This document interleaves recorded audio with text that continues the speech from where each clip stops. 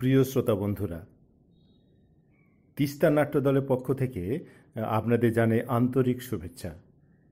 আশা করি ভালো আছেন সবাই। এখন থেকে আমাদের এই অডিও চ্যানেলে আমরা আপনাদের শোনাবো ভিন্ন স্বাদের শ্রুতি নাটক। বিখ্যাত লেখকদের সুন্দর সুন্দর ছোট গল্প, ছড়া এবং কবিতা।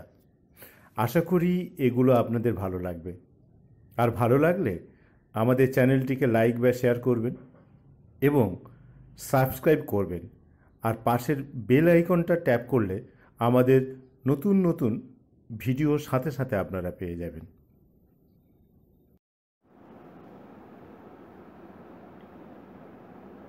দিদি, বাঁধের ওপার থেকে অবশেষে ফিরে এলো আমাদের দিদি। বাজ লেগে পুড়ে যাওয়া গায়ে দাঁত মেলে আছে খতেরা কঠোর। ছেলেকে আনিনি সঙ্গে। মেয়েটা শাড়ির খুঁট আঁকড়ে আছে ওর। মা বলে, গতর খাকি, এই অবেলায় তোকে পরবার কি দি থান, সে তো দেবতার। অন্য দেবতারা থাকে ওপারে, বাঁধের। আমার জামাইবাবু মাছ মারত ঘুরে ঘুরে রাত্রির নৌকায়।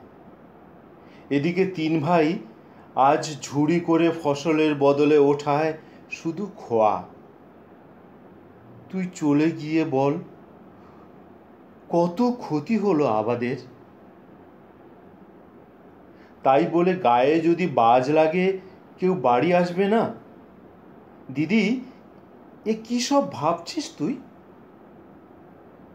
আমার জামাইবাবু, এক কোঁচে বিধিয়ে তুলতো কামট মাছ। আজ সেই অস্ত্রটাকে খুঁজে আনা চাই জল থেকে। আমরা তিন ভাই, আমরা দশ ভাই, দশ লক্ষ ভাই, থালা পেতে বসে আছি।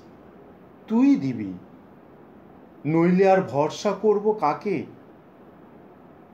এদের সকলকে তুই, সত্যি বল। মানুষ করিসনি? কোলে কাঁখে